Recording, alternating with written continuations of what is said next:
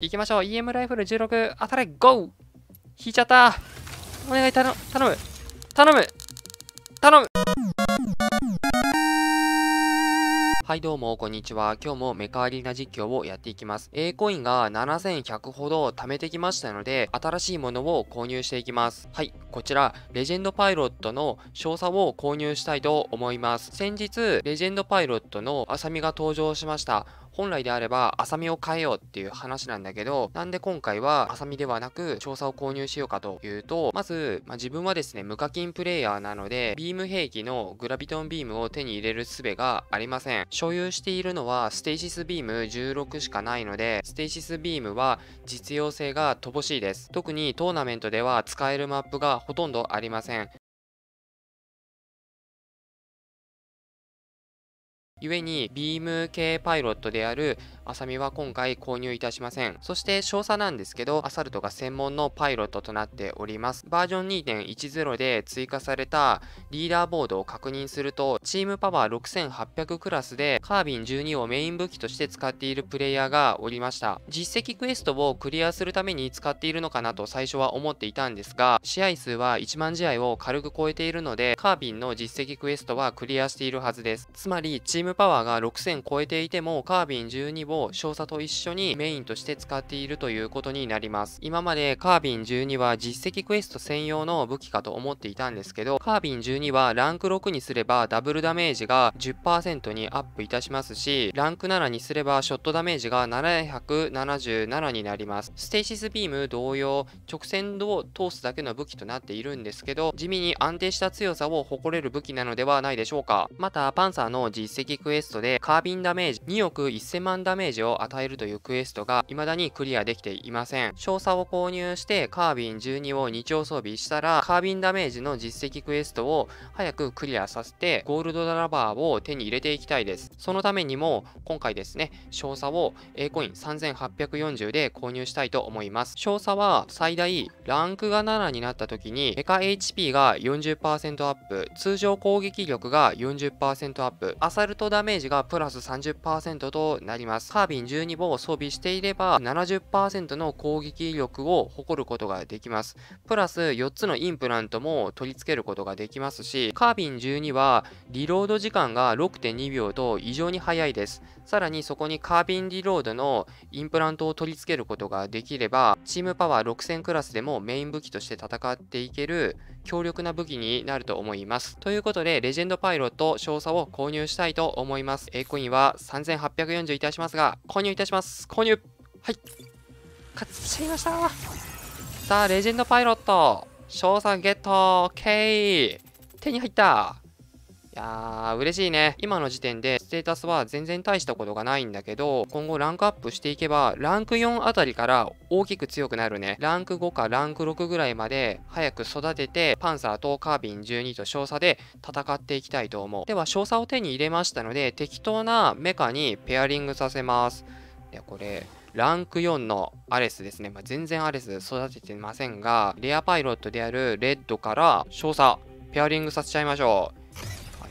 今のところね、何一つインプラントは追加していません。アレスはメインメカとして使うことはありませんので、とりあえずペアリングだけさせて経験値を貯めて、少佐のランクアップを施していきたいと思います。少佐がランク5かランク6ぐらいになれば、パンサーにペアリングして、カービン12もランク6にして戦えるようにしていきたいと思います。ご視聴どうもありがとうございました。はい。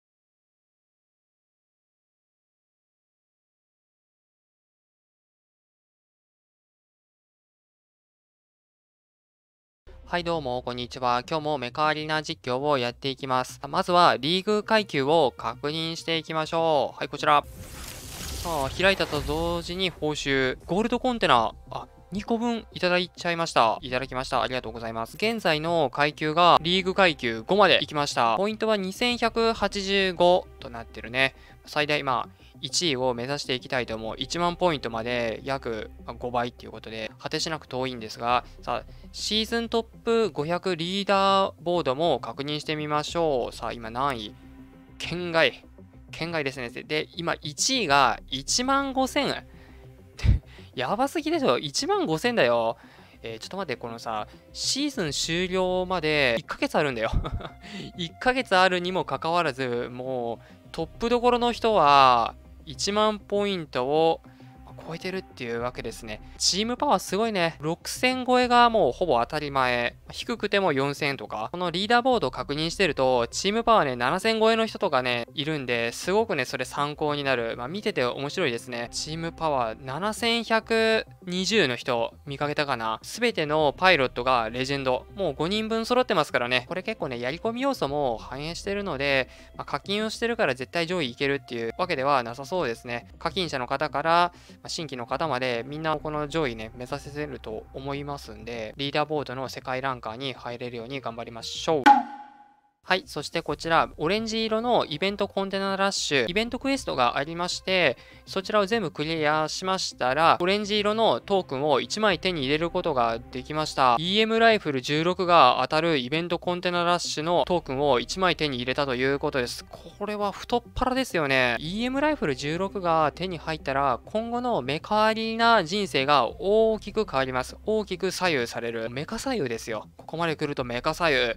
この EM ライフル16が、えランクが3の状態で、まダメージ1万6000超えっていうことで、瞬発火力最強の武器となっているようです。ただ、癖があって、ショット遅延が0.7秒かかるということなので、クロード向けの武器となっているように思われます。そしてこのランクアップ確認すると、最大でダブルダメージ発動率が75%まで上がる。75%っていうともう100%だよ。うん、75っていうのはこのゲームでいうところの100%に等しいので、EM ライフル16っていうのは理論値だけで言えば、レールガンを超えた瞬発火力最強の武器になってるのではないでしょうか。今回ですね、オレンジ色トークン1枚手に入れましたんで、気合入れてガチャっていきましょう。当然当たりは EM ライフル16。あとは A コイン1000か500っていうところなので、まあ、10分の3ですね。いや、ここはね、本当に当ててほしい。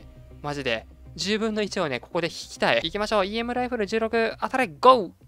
引いちゃったお願い、頼む頼む頼む頼む